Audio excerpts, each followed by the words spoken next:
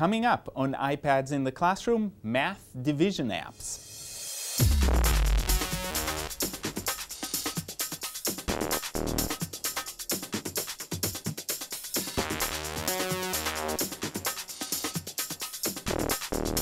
Hi, my name is Guy Trainin and this is iPads in the Classroom from TechEdge and today I have a collection of apps that help kids learn how to do division, especially long division, and lots of practice. So the first app that I want to talk about is called MathBit and MathBit is a math practice app. You can get certain levels for free and then you have to pay for extra levels. So you do have to consider that. You get to have multiple users on one device, which is always helpful. And you can see that you can choose from different operation, addition, subtraction, and multiplication, and then end division.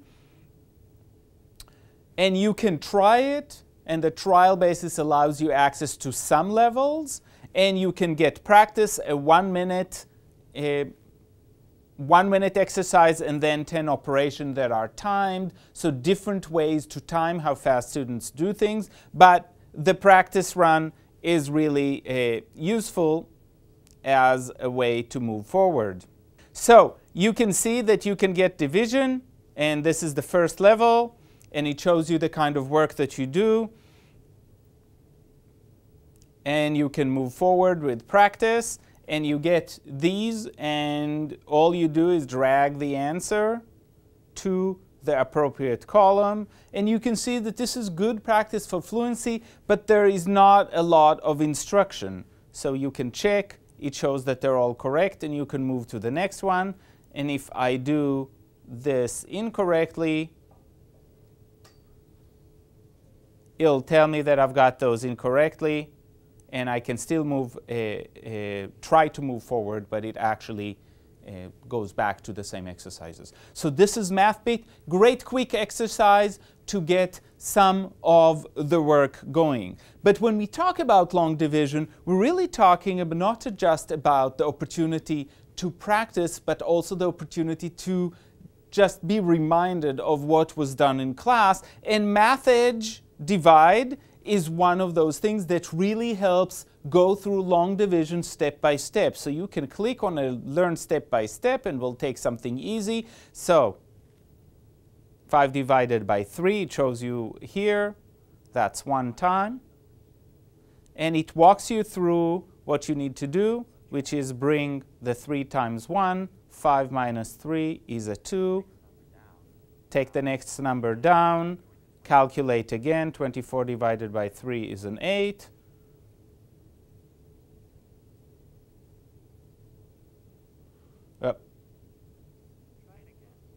So 8 times 3 24. And if you make a mistake at this point, it just tell you to, tells you to try it again. 24 minus 24 is a 0, and it's correct. And now you can practice more. So the same exercise goes, and you can see that you can have long division up to 3 and 4 uh, digits easily, which is enough. And then there are also uh, flashcards to just work on remembering the basic division problems that will help the fluency when you do the long division. So this is a great app. I truly think that it does all the things that you need to do to uh, teach long division. Math Edge, Divide, great app. So Long Division Touch is an app that will work on an iPhone, on an iPod Touch, or on an iPad. So you can use it on any of those devices, which is fantastic if you have a multitude of devices or if you just have a classroom with just iPod touches.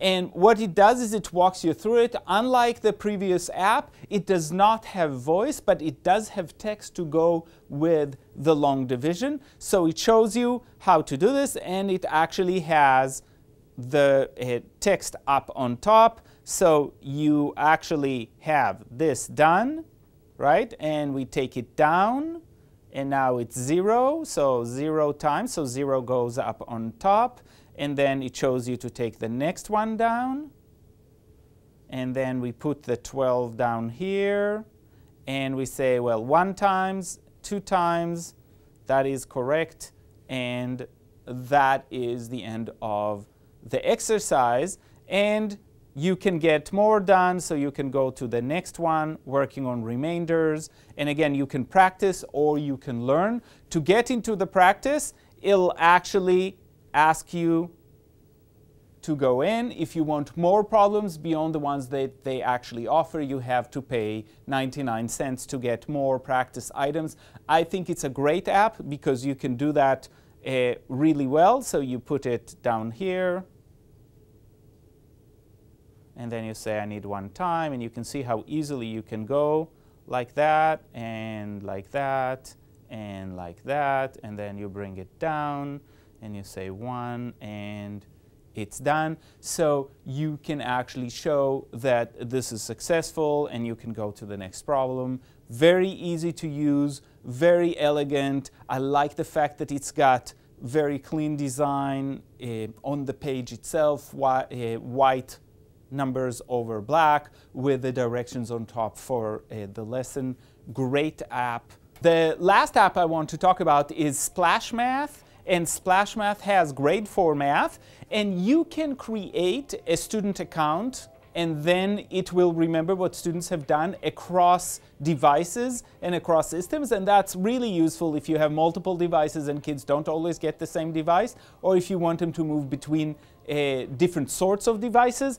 So I'm going to go in just as a regular user without going into an account, but know that there is an account. And what you can see immediately is that in this fourth grade math app, we have multiple things to practice. We're going to focus today on the division. And you can see that at the bottom it tells you what percent of the problems you've gone, uh, you've gone through and what you actually know, which is really useful if you want to see where students are. So let's go to our division problems.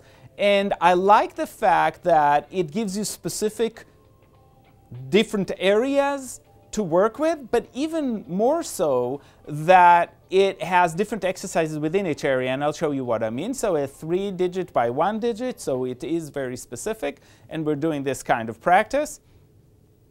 And so one of the ways that they ask you to do it is actually fill in the missing digit. So this would be one time, and then you write, sorry, and and I'm not doing the exercise. I'm on purpose getting it wrong so you can see when we're done, we're done. And it says oops, and it'll give you the example of what it should look like. So I like the fact that there is a response when you made an error, and it doesn't just ask you to do it again and again and again, but instead it shows you what has happened and where the mistakes are in red and a, a way to think about it, and then it goes into the next exercise. And you can see that this is a totally different problem where it's asking you which number is divisible by 7 which is, uh, I would argue, a fairly complicated uh, question to ask and requires a little bit of calculation. One day I'll get it. And again, it gives you an example of exactly how you would go about it. So what this one, this app has is multiple ways to get at the same problem, and that keeps kids from being uh, becoming really used to one way of asking a question and not really thinking through. It keeps them on their toes and it keeps it interesting and varied. So it's a great app to practice and to learn how to do long division. And so today we talked about a few apps that help do math, especially division, and I'll see you next time on iPads in the classroom.